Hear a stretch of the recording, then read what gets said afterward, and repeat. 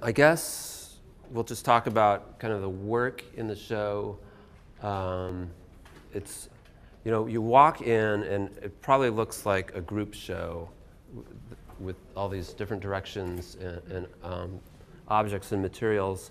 Um, it does represent a span, of, uh, the work is gathered over a, a, period of about 30 years. Mm-hmm. So that would be a good reason for, for disparity in the work. But then we were just kind of going over the checklist and um, notice that the, the, piece over here that kind of begins with the begins the show is a very formal painting that actually looks like it's maybe 150 years old.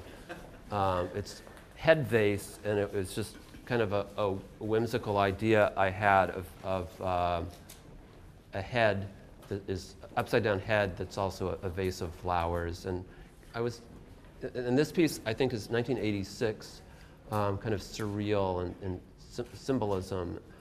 Um, so that is 1986. And then I don't know if you'll be able to see it, but 1987 on the far wall back there is this very abstract drawing. It's just like um, a, uh, who's the artist of the, the zip paintings?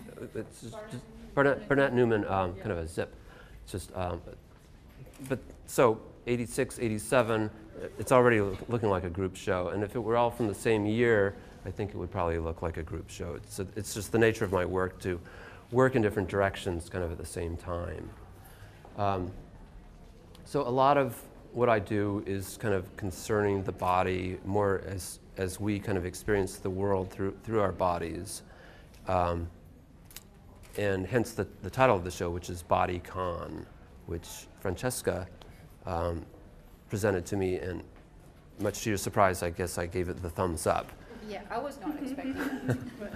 um, so, so BodyCon, if you Google it, BodyCon um, comes up with um, like very form, tight form-fitting dresses, but it's um, body consciousness, mm-hmm. which that's what I liked about it because it's different ways of being conscious of, of the body, of our physicality.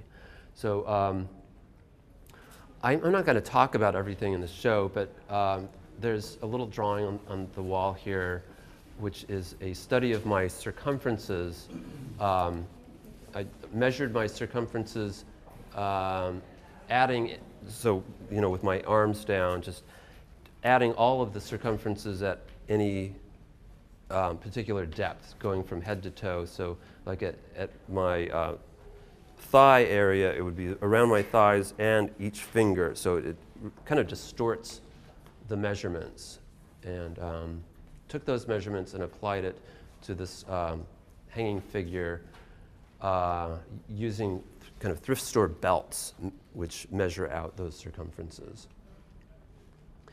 Um, I, want to, I want to encourage you to ask any questions as well as, as we go through.